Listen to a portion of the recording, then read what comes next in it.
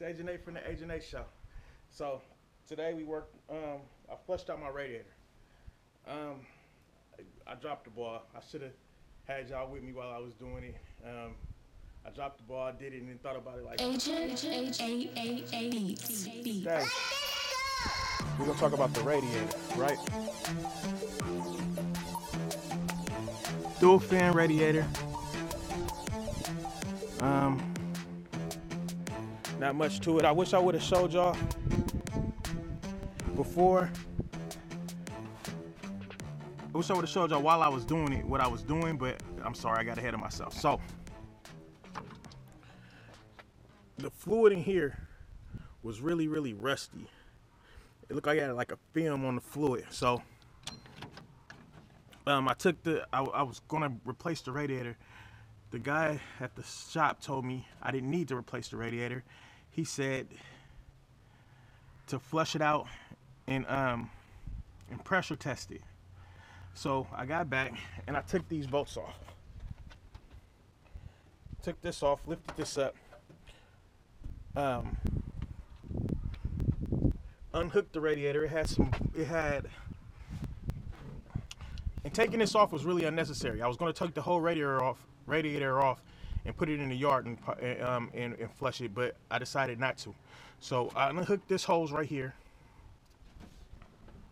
and I unhooked this hose down here. I unhooked this hose down here.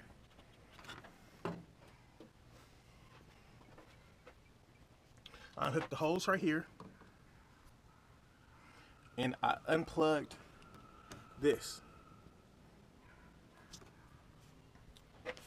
Then I took a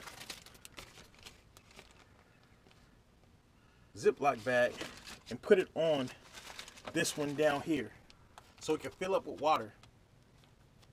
And that way the water would flush would build all the way up flush out of this one.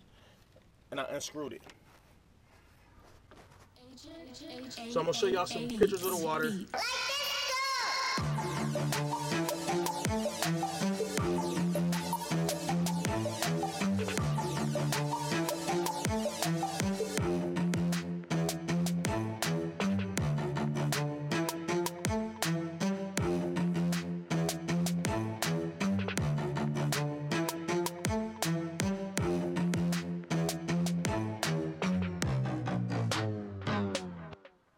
The water came out really, really brown. It was just rusty water sitting in there. It was just water sitting in there for however how long it was sitting.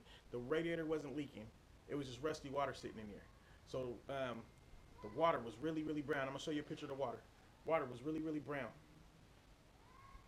And then after maybe about 15 minutes, I don't even think it was 15 minutes, maybe about 10 minutes of flushing it, um, the water was all clear. Water wasn't brown anymore. It wasn't. It was clear. So I took it out, let it sit for a little bit. Then I did it again. Water was still clear. So whole thing didn't take no more than 20 minutes with unscrewing the bolts that I didn't need to unscrew. I unscrewed some unnecessary bolts because I thought I was gonna take the radiator off and just sit it in the yard and, and um and flush it, but didn't need to. I just stuck the hose in the radiator, took the hoses off, and flushed it till the water got clear. Hey, hope this was helpful. Comment below, um, share, and subscribe. Hit the like button.